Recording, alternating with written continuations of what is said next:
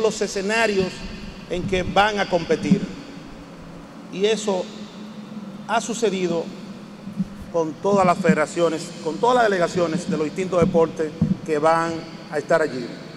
O sea, nos hemos preparado para estar allí. Por eso auguramos un mejor resultado. Apostamos a eso. Como bien explicó el presidente del Comité Olímpico, nuestro amigo Luis Mejía, los factores para ganar son múltiples para que sucedan los hechos.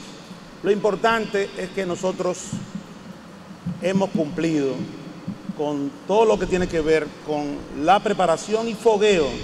Y no, me refiero al fogueo que normalmente se le llama en el algo deportivo eh, que precede los, los dos meses antes, ¿no? el fogueo durante todo este proceso de participación y competición, de base de entrenamiento, ininterrumpido. Y eso indudablemente nos hace decir, nuestros muchachos van preparados. Y tienen que ir, además, como van ahora, acompañados del personal que requieren para asegurar obtener éxito en su participación. Si no llevan al médico, si no llevan al psicólogo, que marca muchas veces la diferencia entre ganar o no una medalla, que empodere de la actitud que tiene que tener el atleta para poder ganar en el momento indicado. Si no se lleva ese personal, pues eso muchas veces marca la diferencia entre ganar y no ganar. Nos hemos asegurado también que ese personal que requiere el atleta, que lo llevan otras delegaciones y que lo necesite el atleta, esté presente allí, dando soporte, acompañando y garantizando que nuestro atleta vaya en las condiciones óptimas para competir.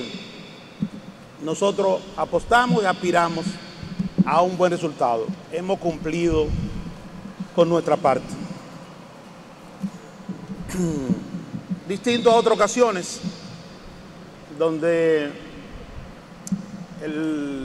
era normal limitarnos como gobierno, como ministerio, a entregar un cheque, a veces llevaba una cosa grande, se está entregando.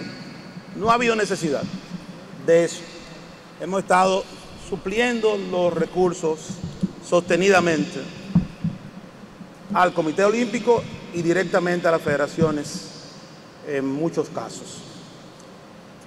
Hemos trabajado en esa dirección en conjunto sin tener que estar haciendo anuncios y recibiendo ellos los recursos que requieren para la preparación que he explicado el Estado ha invertido algo más de 160 millones de pesos en este esfuerzo que ha implicado la preparación, equipamiento en algunos casos y también todos los procesos de fogueo y base de entrenamiento de nuestros atletas, que estaban previstos además y consignados en el presupuesto de este año 2018 decirle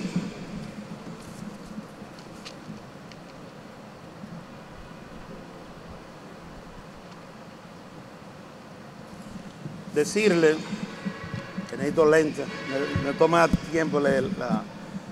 Eh, decirle que este lunes al mediodía nuestro presidente de la República, licenciado Danilo Medina Sánchez, va a entregar la bandera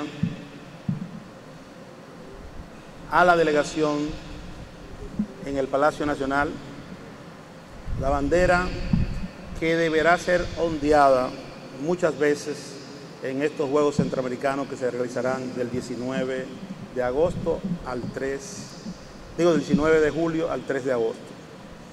Esa ceremonia, esa entrega formal a la delegación se hará al mediodía en presencia de los que dirigen la delegación y de los atletas que podrán estar presentes ese día, eh, lunes próximo, a, a las 12.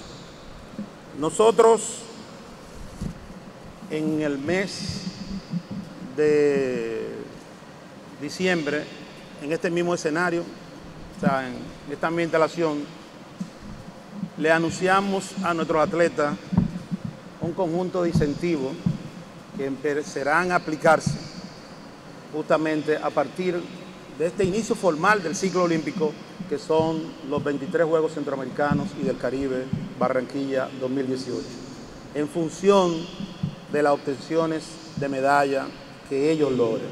Eso es un compromiso que hemos asumido y que vamos a honrar. Muchas gracias.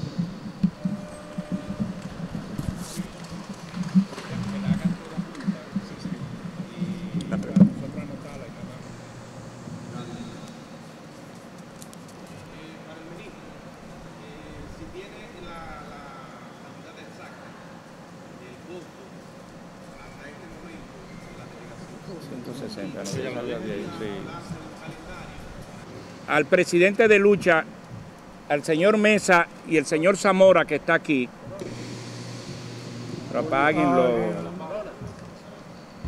que ustedes nos permitan que cuando termine esta rueda de prensa, ellos le van a dar una información de una actividad que tenemos de uno de nuestros deportes con una visita súper especial que viene al país de atletas en un triangular que va a haber aquí de un deporte quiero pedirles, por favor, y que ustedes pongan para que sepan quiénes vienen y ellos le van a informar.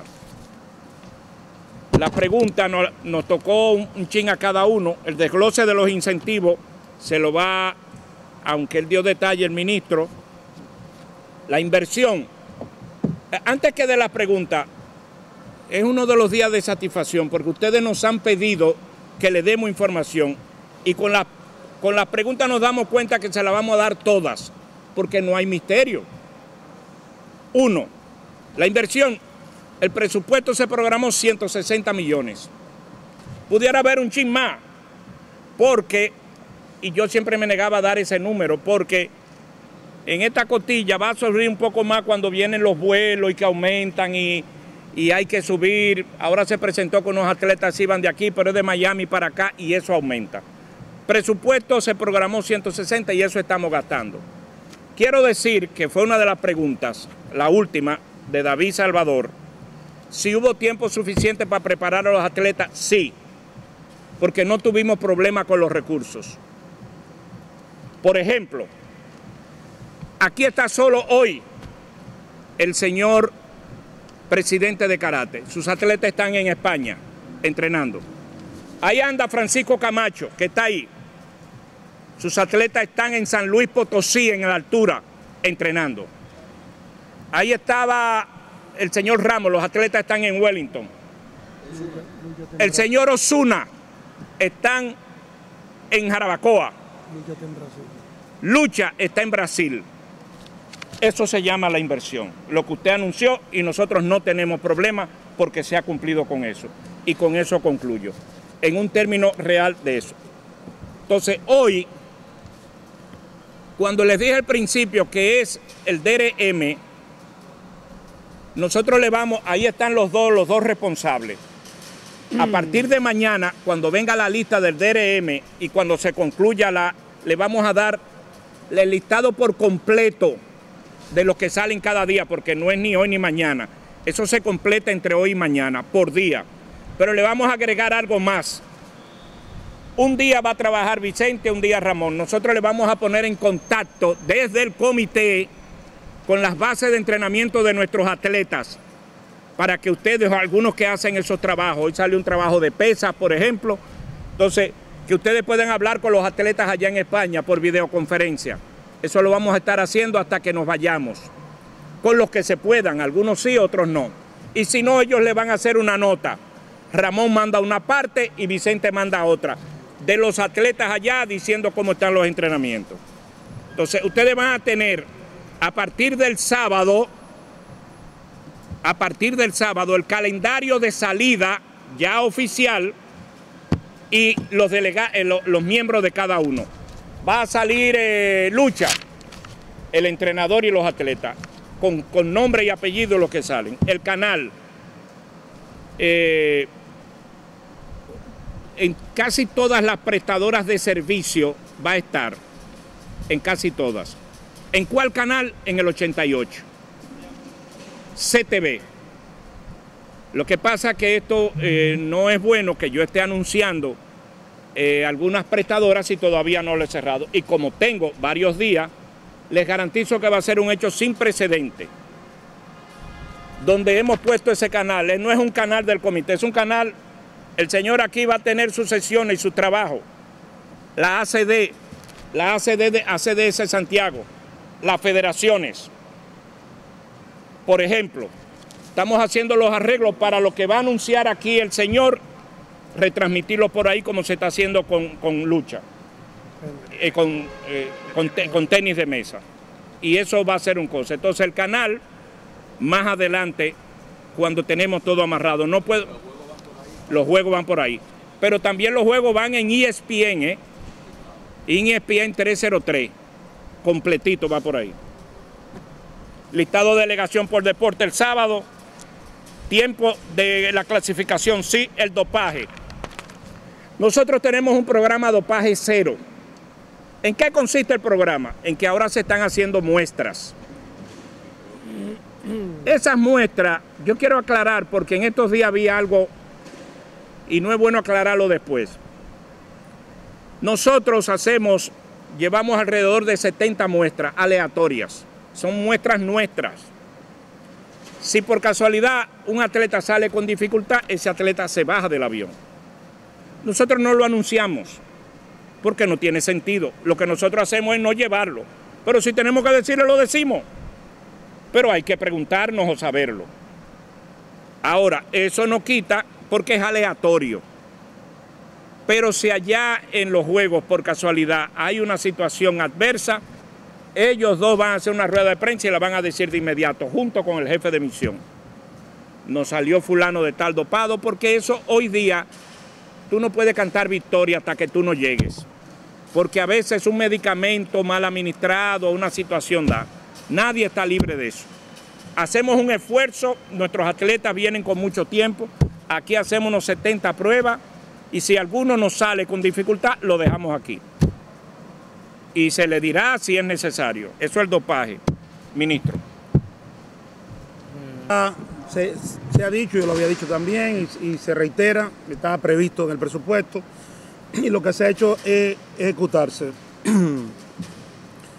Eh, con relación a los incentivos, los incentivos fueron anunciados en diciembre aquí en un encuentro con los atletas, donde va a ser una mejora en el parning a aquellos atletas que eh, obtengan medalla, de forma tal que, que obtengan medalla y que lo que no estén en el parning, porque algunos no están, pues puedan ser incluidos bajo esa, esa, nueva eh, condición de atleta medallista.